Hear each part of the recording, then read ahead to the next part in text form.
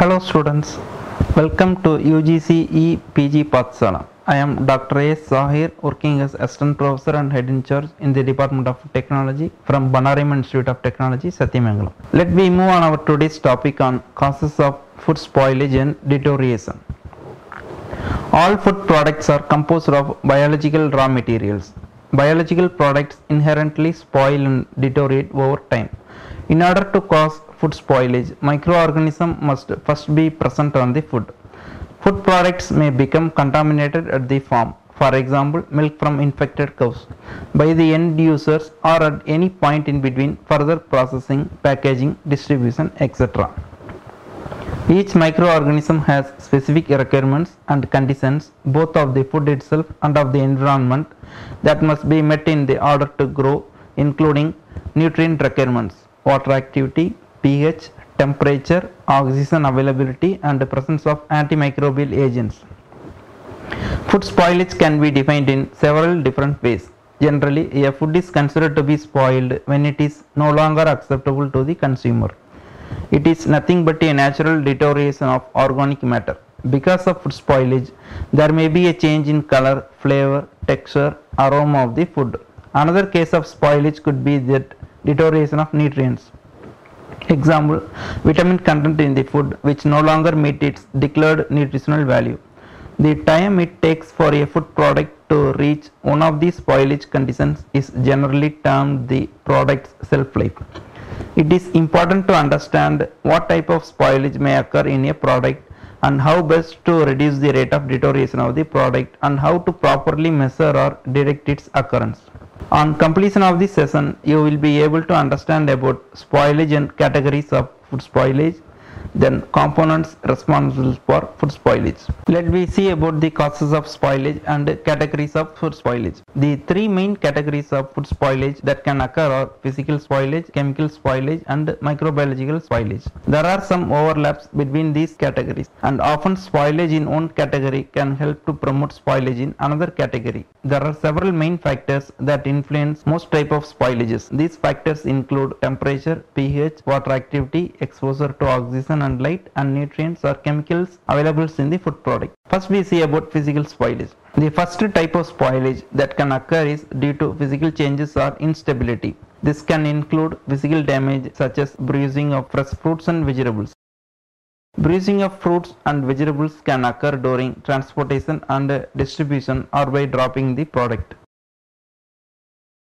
If the physical damage is severe, the product may become unacceptable to the consumer. There can be a color change due to enzymatic browning as cells are ruptured and there is often loss of water content at the bruise. In addition, bruising causes damage to cells and allows microbial growth to occur more readily. Breaking of dry, brittle product can make many products such as crackers, potato chips, ready-to-eat cereals and many frozen foods unacceptable. The use of well-designed packaging systems that protect the product from vibrational and mechanical damage during distribution and handling can minimize the effect of bruising and breakage. First we can see about the components involved in the physical deterioration.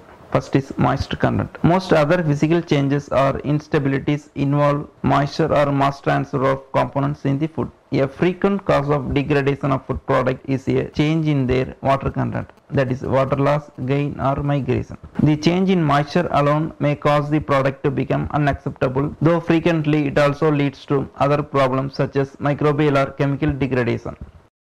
Moisture transfer occurs in foods due to gradient in chemical potential which is directly related to the food's water activity. Water activity is defined as the equilibrium relative humidity for a product divided by 100.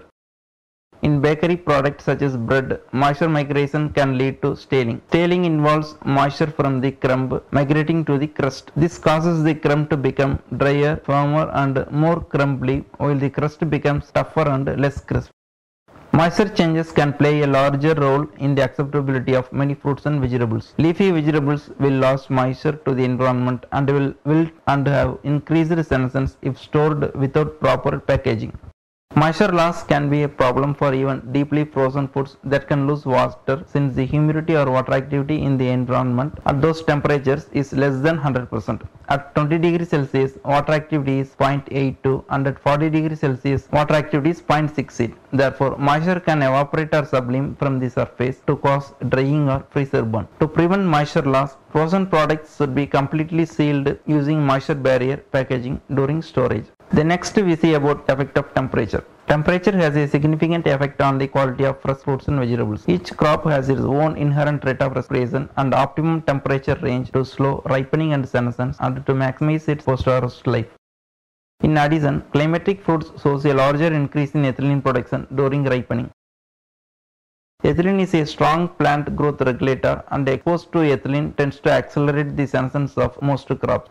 Therefore, eliminating or reducing exposure to ethylene will delay ripening and senescence in most crops and will extend their post-harvest life. The temperature is also important in that because most crops are susceptible to freezer damage when the temperature is lowered slowly and the product becomes partially frozen.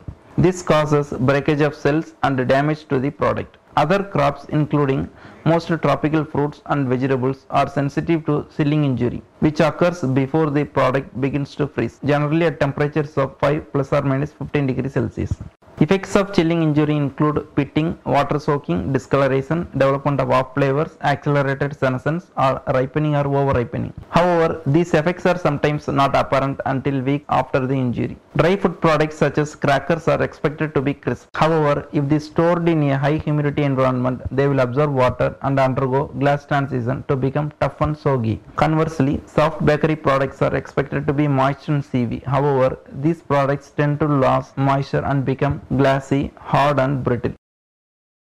As powder gains moisture, it undergoes glass transition and becomes amorphous. This causes the powder to stick together and cake. Then next we see about the effect of air and oxygen. Air comprises of about 80% nitrogen and about 20% oxygen. The level of oxygen in the air is too great for most microorganisms and therefore organisms have developed strategies to counter the harmful effect of oxygen. Our lungs are lined with a substance called surfactant. Surfactant provides a necessary barrier between the tissue of the lung and the oxygen in the air to counteract the caustic effect of the oxygen upon lung tissues. Our bodies and the bodies of other organisms produce antioxidants to counter other undesirable reactions of oxygen with substances called free radicals. By binding to free radicals, antioxidants prevent reactions which are harmful to our bodies. When our organisms no longer has the support of its various physiological support system, the chemical makeup of the organism will start to react with the oxygen in the air.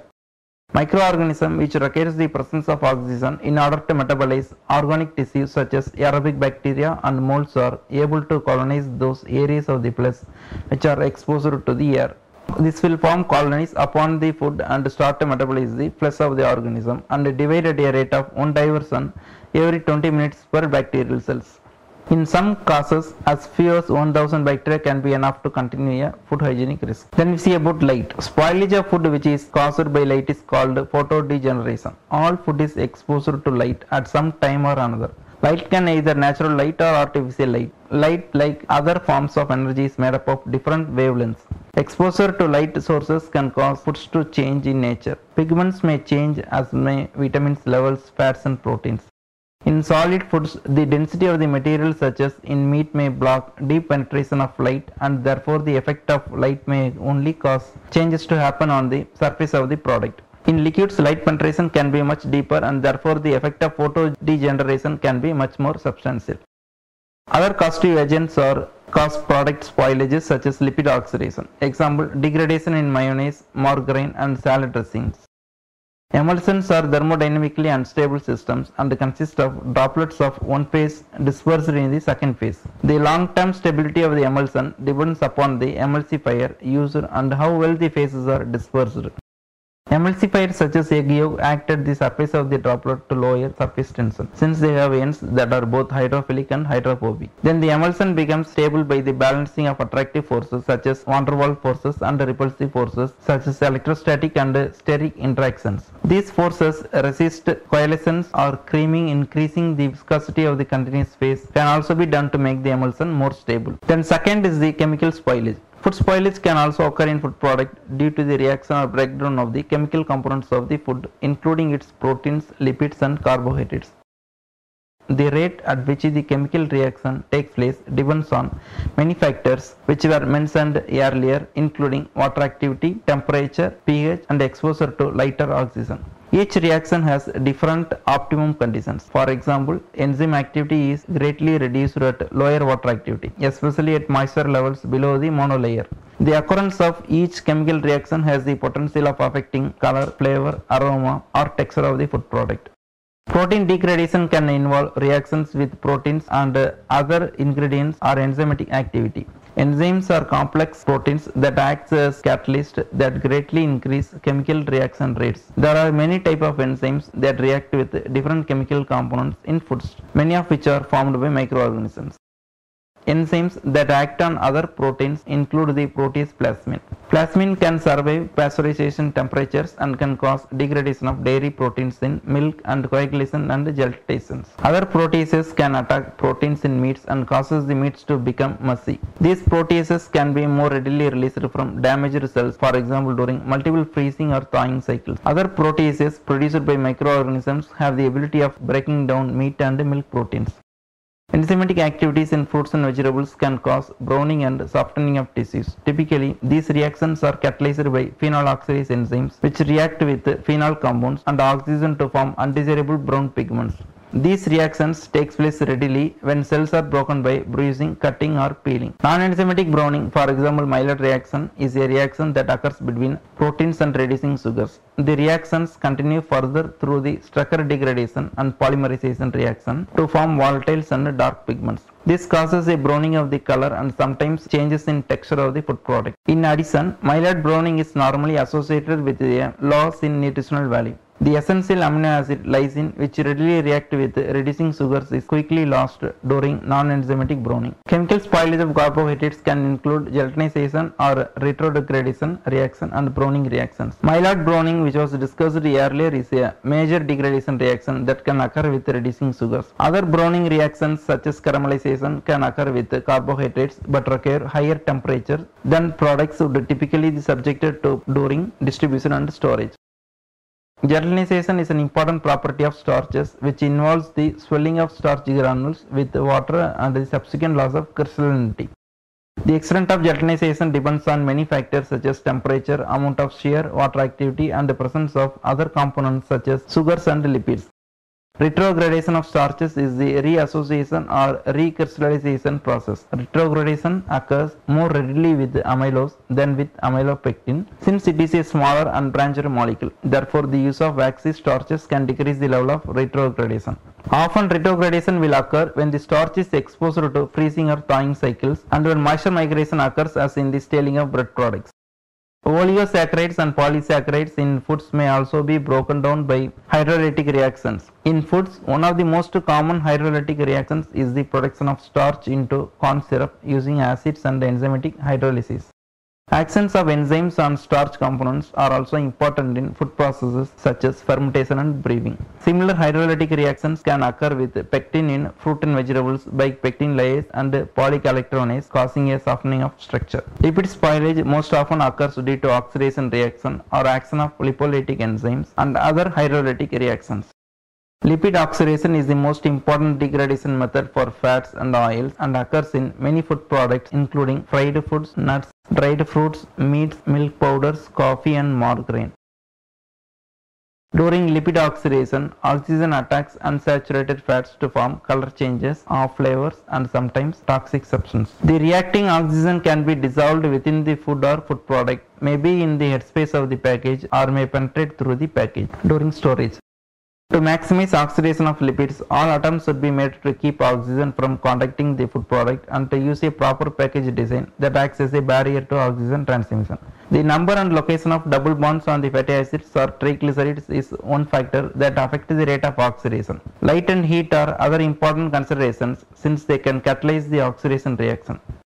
Other trace elements in the product can affect the rate and extent of oxidation. Trace metals such as copper and iron can greatly catalyze the oxidation reaction. Another spoilage is due to microbials. Action by microorganism is a common mean of food spoilage and the most common cause of foodborne illness. Microbial spoilage is a major concern for perishable foods such as fresh fruits, vegetables, meats, poultry, fish and bakery products. Potential food spoilage microorganism includes bacteria, fungi, viruses and parasites. The growth of most microorganisms can be prevented or slowed by adjusting in-cell microbial load, adjusting temperature of storage, reducing water activity, lowering pH, use of preservatives and using proper packaging. Some microorganisms simply cause spoilage of foods while others can cause illness or even death if consumed. There are numerous types of bacteria that can grow and cause spoilage in many different foods. Bacteria are single-celled organisms that are 1 to 5 microns in size. They can be round, rod or spiral in shape and reproduce by binary fission. Yeast are another type of microorganism that can cause food spoilage but are also used in many fermentation operations. Yeast are single-celled fungi that are round or cylindrical in shape and 3 to 5 microns in size. They multiply by budding or binary fission. Important yeast in food include Candida species, Debaryomyces species, Saccharomyces species, etc. Molds are another type of fungi with a larger cell size than that forms chains and branches. Molds come in many different shapes, sizes and colors and they can be seen with a naked eye when they form their branched structure.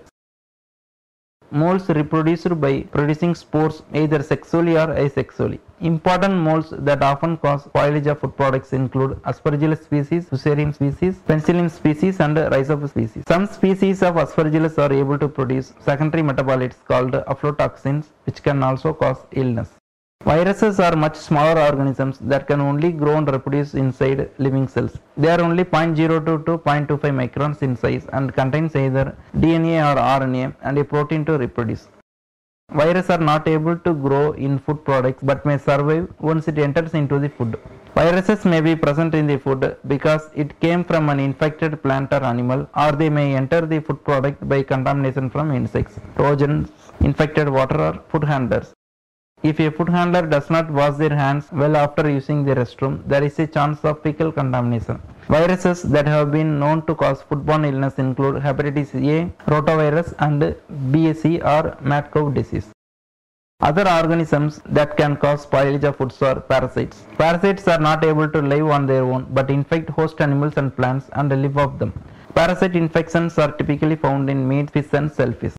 Tapeworms are found in beef, pork and fish. Roundworms are sometimes found in pork, fish and shellfish. Protozoa such as Cryptosporidium parvum are sometimes found in drinking water, fruits and vegetables and have become an increasingly prevalent health risk. Let me summarize the topics. Food spoilage causes not only economic loss but also the unavailability of food, especially in places of food shortage and with high population. To reduce food spoilage and increase the availability of foods, efficient techniques need to be practiced. Some of the major causes of food deterioration are growth and activities of microorganisms like bacteria, yeast and molds, then activities of natural food enzymes, then spoilage may be due to insects, parasites and rodents, then because of high temperature and low temperature, the moisture and dryness may cause the deterioration, then oxygen, light and time. New methods that are now being studied could be more effective in the future. One of these methods is the development of biosensors which could detect important bacterial metabolites at very low concentrations. Another method is to determine bacterial load rapidly by polymerase chain reaction that we call it as PCR. However, this technique cannot differentiate between live and dead cells. In near future, better and specific biosensors and PCR techniques can be developed to detect spoilage potentials of a food at an early stage.